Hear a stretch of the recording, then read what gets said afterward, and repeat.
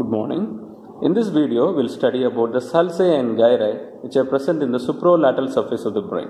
So already we have discussed about the important sulci sulci which are separating the lobes of the cerebral hemisphere. So just we'll brush upon that once more.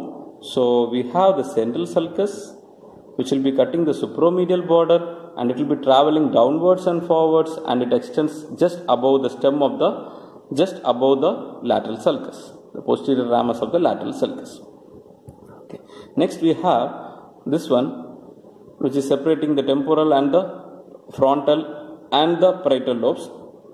So this is the lateral sulcus. This is the lateral sulcus which is continuing as a posterior ramus. The posterior ramus of the lateral sulcus. Okay.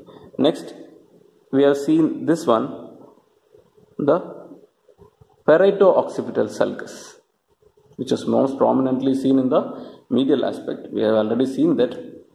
Next we saw the preoccipital notch. So uh, the part which is in front of the central sulcus is called the frontal lobe. Now we'll study what are the sulci and gyri which are present in the frontal lobe. So this is the central sulcus. So this is the frontal lobe. Now in front of the central sulcus we have one more sulcus which is running the same direction as that of the central sulcus. But you can notice it is not cutting the superomedial border. So, and it is lying parallel to that of the central sulcus in front. So this sulcus is called the precentral sulcus. So this sulcus is called the precentral sulcus. So in front of the precentral sulcus we have sulcus two sulcus which are running anterior to posterior direction. In an anterior to posterior direction. So this is the first one which is running in an anterior to posterior direction. So this is called the superior frontal sulcus. This is called the superior frontal sulcus. Next inferior inferiorly we have one more sulcus which is running in similar fashion which is from the anterior to posterior aspect. So this is called the inferior frontal sulcus. So now we have two sulcus which are running horizontally that is the superior frontal sulcus and the inferior frontal sulcus. So between these sulci we have some of the gyri. So we'll study those gyri. So this is the central sulcus. So this is the uh, gyri which is in front of the central sulcus and the name of this gyri is the precentral gyri. The name of this gyri is precentral gyri. Now, in front of the precentral gyri, what sulcus is this? Is the precentral sulcus. Now, in front of the precentral sulcus, we have three areas, three gyri in relation to these two sulcus. The superior and the inferior frontal sulcus is dividing this area into three parts. You can see the gyri which is present above that, above the superior frontal gyri is called uh, superior frontal sulcus is called the superior frontal gyri. The gyri which is located between the superior frontal sulcus and the inferior frontal sulcus is called the middle frontal gyri. Middle frontal gyrus. Now, inferior to that, we have inferior to the inferior frontal sulcus, we have the inferior frontal gyrus. This inferior frontal gyrus can be, uh, will have three parts in relation to the two ramus which are coming from the lateral sulcus.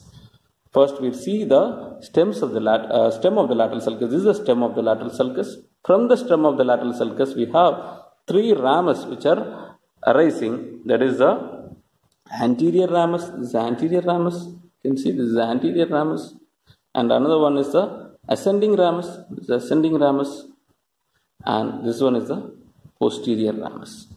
The posterior uh, ramus is a longer ramus. Okay the posterior ramus will be ending in an upturn at the end. Okay this is a turn which is formed at the end. Okay now related to the anterior ramus and the ascending ramus, we have three regions. You can see this is one region, this is another region, this is a third region. Okay, so related to the anterior ramus the part which is related in front of the anterior ramus is called the pars orbitalis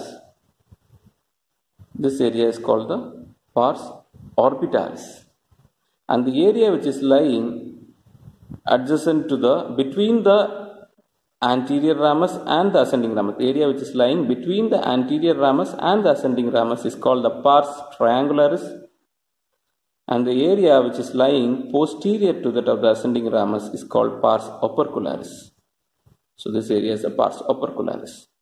So we have the pars orbitalis the pars triangularis and the pars opercularis. All these parts are coming as a part of inferior frontal gyrus.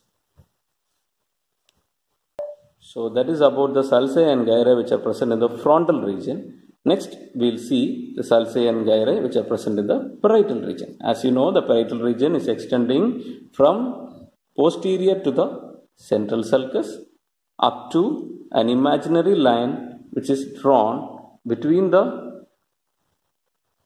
parieto-occipital sulcus and the preoccipital notch and the line joining the posterior end of the uh, just before the upturn of the posterior ramus of the lateral sulcus we are drawing an imaginary line. So this much will be the parietal lobe. So in the parietal lobe the most important sulcus is this one which is just like the central sulcus but it is running posterior to the central sulcus in the same direction so this is called the post central sulcus this sulcus is called the post central sulcus now, behind the post-central sulcus, we have a horizontally running sulcus, okay, that is called uh, from anterior to posterior direction. So, this is called the intraparietal sulcus. So, intraparietal sulcus. Okay, these two are the most important sulcus which will be dividing the gyrus. Okay, the gyri which is related between the central sulcus and the post-central sulcus is called the post-central gyrus. So this gyrus is called the post-central gyrus. Behind the post-central sulcus, this intraparietal sulcus is dividing the parietal region into two parts. This is a superior parietal lobule. So this is the superior parietal lobule and this is the inferior parietal lobule. This is the inferior parietal lobule. So this is the superior parietal lobule and this is the inferior parietal lobule. Okay. Okay. So that is about the parts of the parietal region, the sulci gyri present. present. There are three regions in relation to the inferior parietal. Three regions which are present in relation to the inferior parietal lobule, which we will study after finishing the temporal lobe. So first, next we'll study about the temporal lobe. If you see the temporal lobe, already we know the temporal lobe is separated from the frontal and the parietal region by the posterior ramus of the lateral sulcus. Below the posterior ramus of the lateral sulcus, we have two sul uh, two sulci which are running from anteroposterior direction. Okay, that is one is the superior temporal sulci, superior temporal sulcus, which will also be ending just like the posterior ramus of the lateral sulcus, just like that. We have an upturn. Before it is ending, it is turning upwards. Okay. So that is the superior temporal sulcus. Below the superior temporal sulcus, we have one more similar kind of sulcus, that is the inferior temporal sulcus. So this is the inferior temporal sulcus. That is also ending as an upturn at the posterior aspect.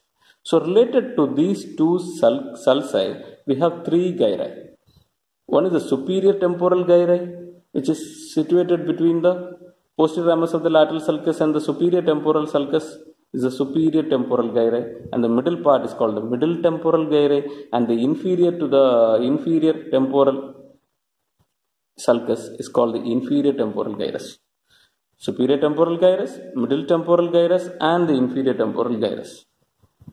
So that's about the sulci and gyri which are present in the temporal aspect. Next, we'll see the three regions which are related to the inferior parietal lobule. If you see the inferior parietal lobule, so this is the inferior parietal lobule.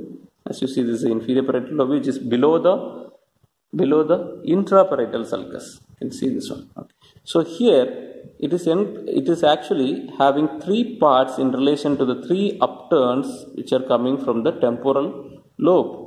The, the gyrus, the sulci which are coming from the temporal lobe. So the first one which is present at the end of the posterior ramus of the lateral sulcus.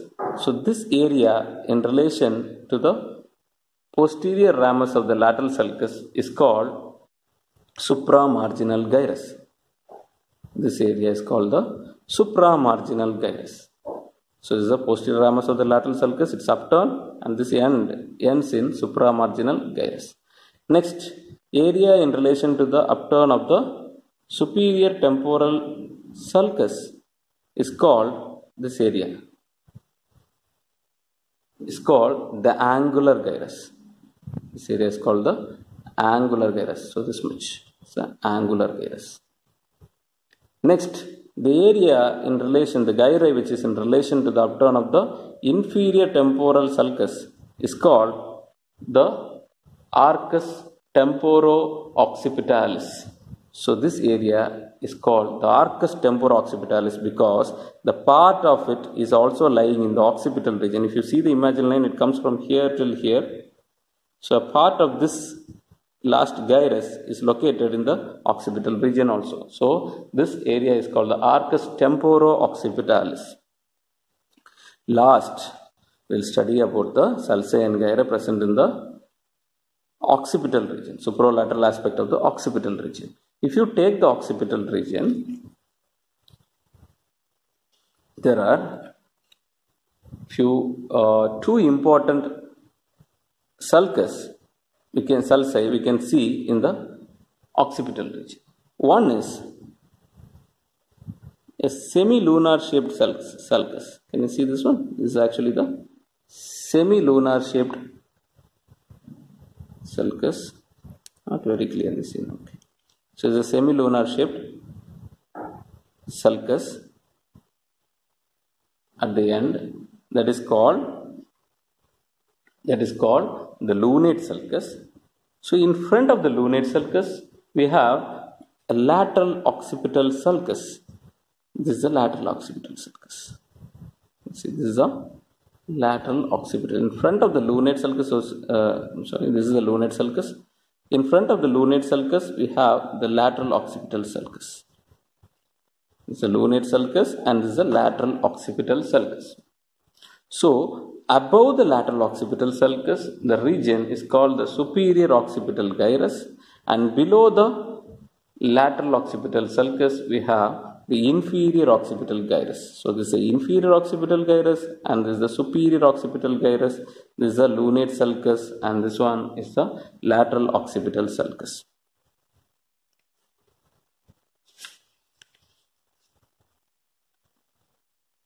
Okay. That's all about the sulci and gyri of the superolateral surface of the brain. Thank you.